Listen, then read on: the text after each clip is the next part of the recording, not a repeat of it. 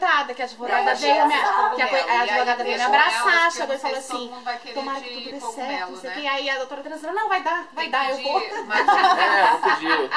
Não, já tá dando. Vem cá, vocês daqui querem o quê? Porque assim, que tem uma que eu vou fazer com cogumelo. Porra, ainda me tira Aí, cedo a, da cama. das meninas, eu acho é meia calabresa e meia... Eu, eu, Me Tira cedo